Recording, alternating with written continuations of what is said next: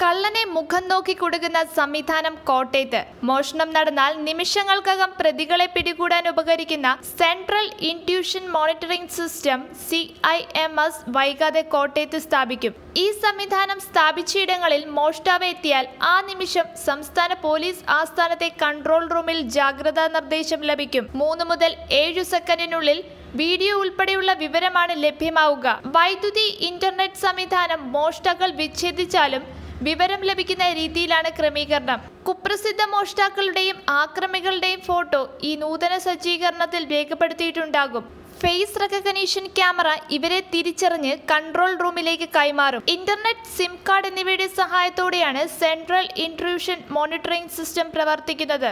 ഈ സംവിധാനം സ്വകാര്യ സ്ഥാപനങ്ങൾക്ക് സ്ഥാപിക്കാൻ അഞ്ഞൂറ് മുതൽ രണ്ടായിരം രൂപ വരെ പ്രതിമാസം പോലീസിനു നൽകണം.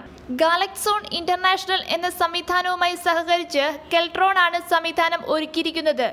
സംവിധാനത്തിന്റെ പ്രദർശനവും വിശദീകരണവും ജില്ലാ police chief P S Sabu ഉദ്ഘാടനം ചെയ്തു. കെൽട്രോൺ അസിസ്റ്റന്റ് മാനേജർ ബെൻസൺ പ്രവർത്തനം വിശദീകരിച്ചു. കോട്ടയം ഡിവൈഎസ്പി ആർ ശ്രീകുമാർ അധ്യക്ഷത വഹിച്ചു. ജില്ലയിലെ സി ഐമാർ സജ്ജീകരണം നിരീക്ഷിച്ചു. വീടുകൾ ഹോട്ടലുകൾ ജുവലറികൾ തുടങ്ങിയ സ്ഥാപനങ്ങളിലെല്ലാം ഇത് പ്രയോജനപ്പെടുത്താം. ക്യാമറയും സെൻസറും കൺട്രോൾ പാനലും ഉൾപ്പെടുന്ന സംവിധാനമാണിത്. ആഭ്യന്തര വകുപ്പ് കെൽട്രോണുമായി സഹകരിച്ച് നടപ്പാക്കുന്ന പദ്ധതി പരീക്ഷണാടിസ്ഥാനത്തിൽ നേരത്തെ കോഴിക്കോട് തൃശൂർ എന്നിവിടങ്ങളിൽ സ്ഥാപിച്ചിരുന്നു.